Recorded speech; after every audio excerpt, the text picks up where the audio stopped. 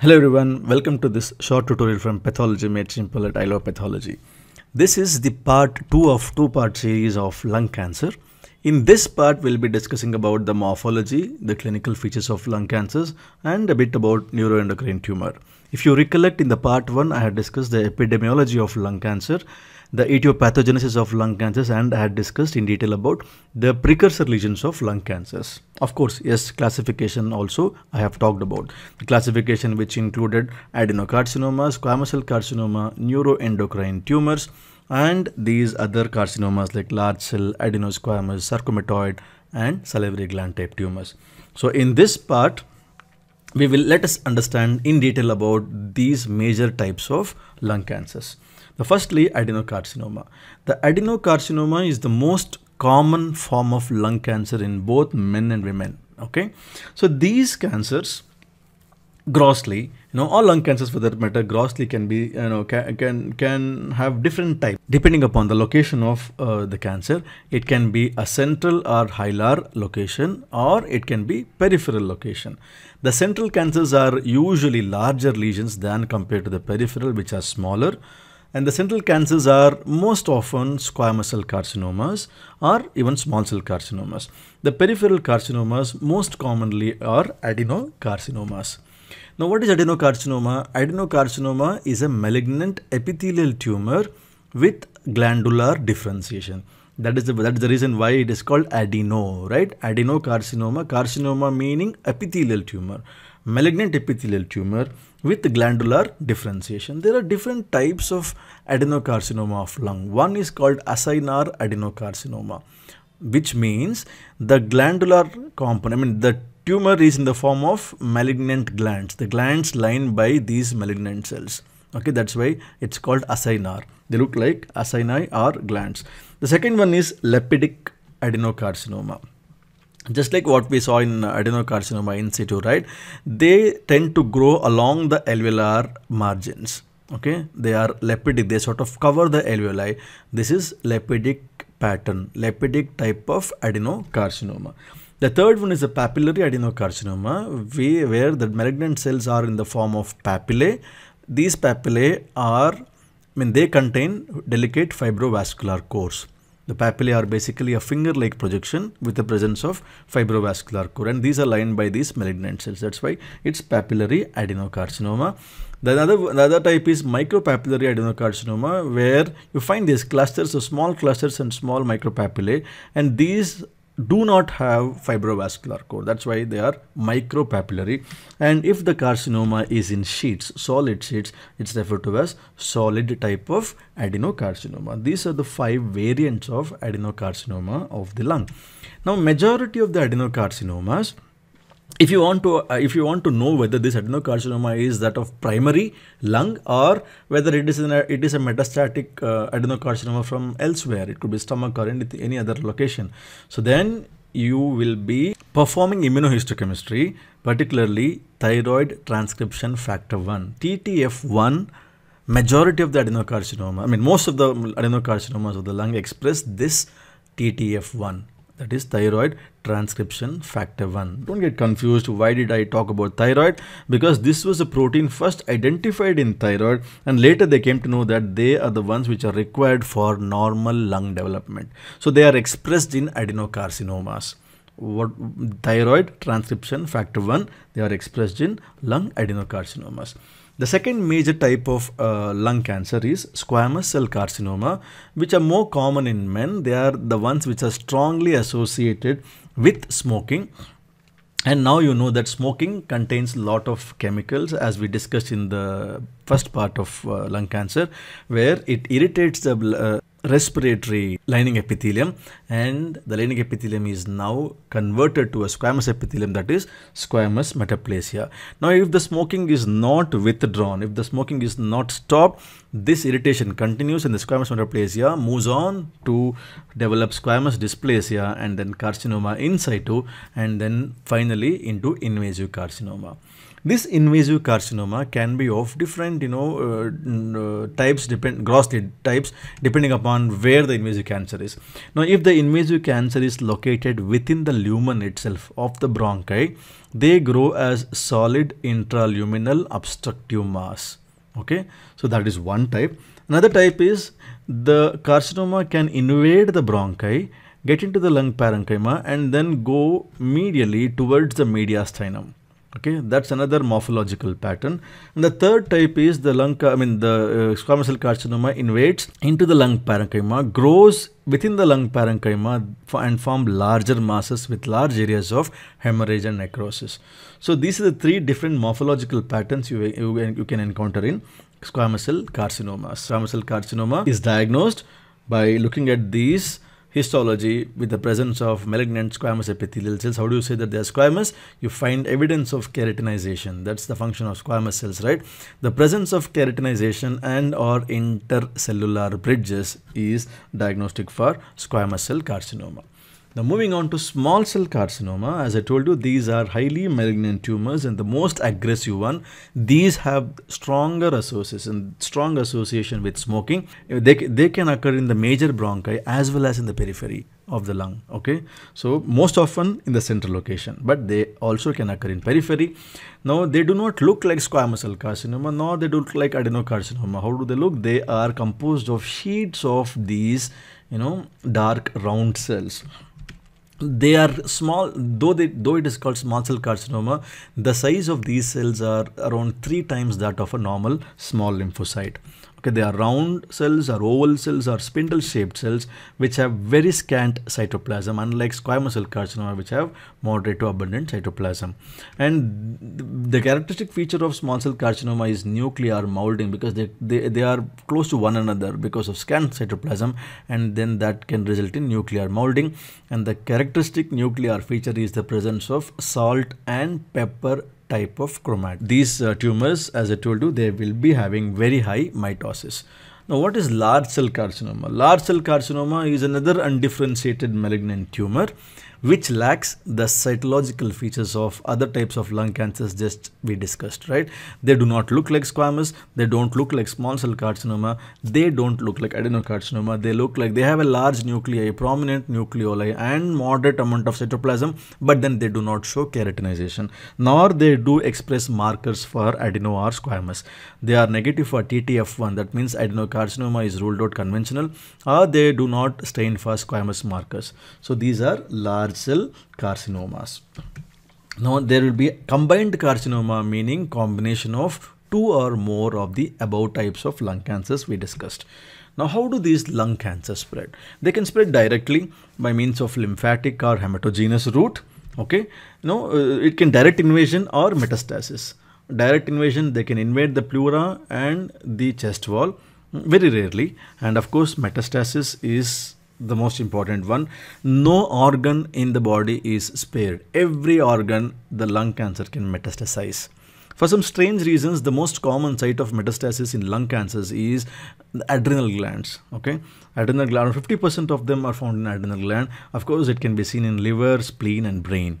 It's not just the pathology involved in cancer. You also uh, will encounter secondary pathology in the lungs okay? So that's because of either local effects distal to the bronchial involvement.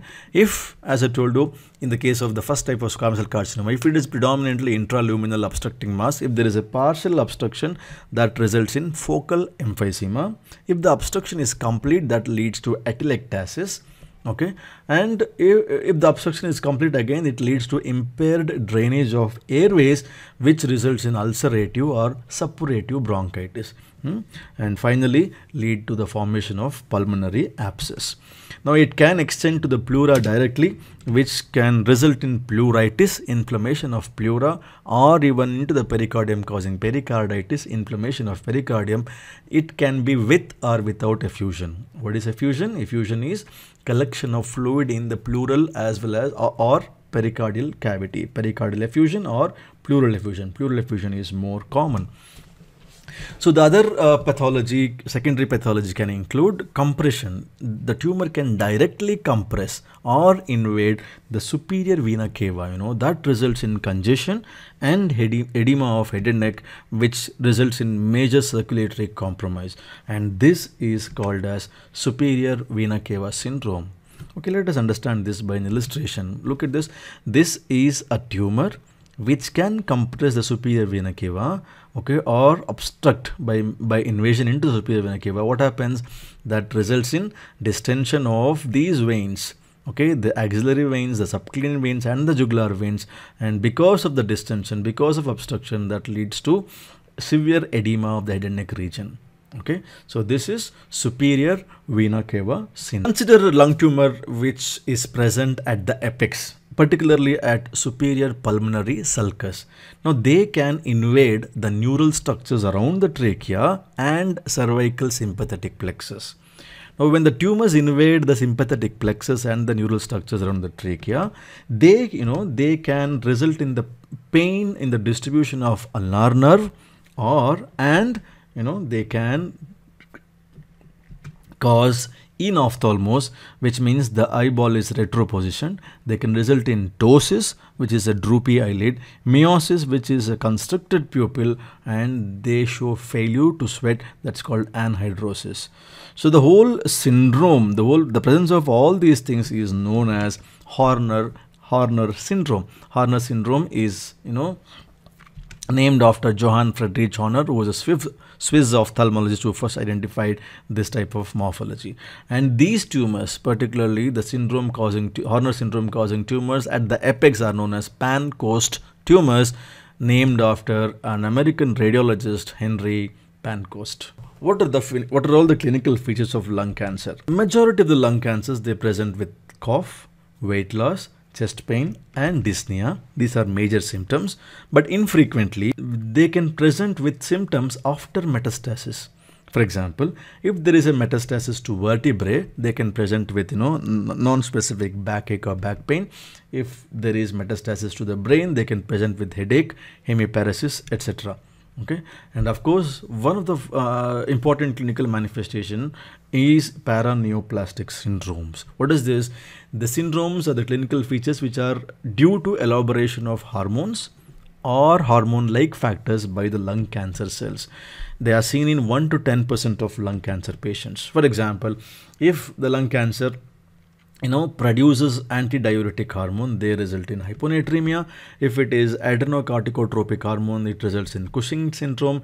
Hypercalcemia can be seen in patients where parathormone parathormone or parathyroid hormone related peptide are elaborated are elaborated hypocalcemia is seen in patients where calcitonin is you know uh, synthesized or elaborated by these uh, lung cancer if they elaborate gonadotropins, they result in gynecomastia. And of course, when they secrete serotonin or, and bradykinin, they result in carcinoid syndrome. We'll talk about this a bit later. Now, these two, you know, most of these paraneoplastic syndromes are uh, very commonly seen in small cell carcinoma, particularly the antidiuretic hormone and adrenocorticotropic hormone release. Now, what are all the other systemic manifestations? Sometimes these patients develop muscle weakness and this is, this is called Lambert-Eaton myasthenic syndrome, you know, named after these two famous and great American neurologists Lambert and Eaton. What is this and why there is muscle weakness in lung cancers? What happens, you know?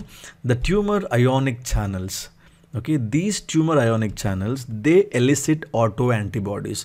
These autoantibodies are elicited against the normal neuronal calcium channels. And that is the reason for muscle weakness.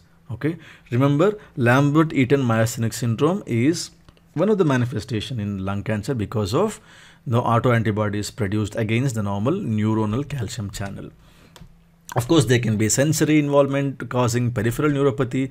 There can be dermatologic abnormalities causing acanthosis nigricans, where there is you know diffuse pigmentation around the flexural areas, the neck, and the axillae.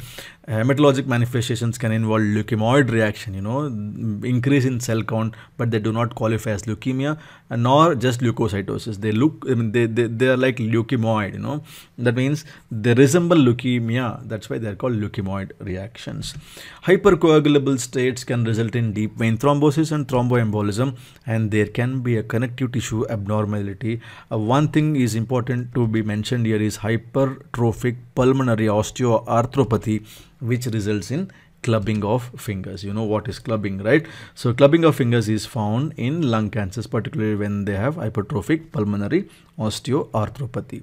Now what is the prognosis of lung cancers? As i told you it has got a very poor prognosis and particularly worst in small cell carcinomas okay so that's about lung cancers. Let's let's talk a bit about neuroendocrine tumors before i conclude part 2 of lung cancer.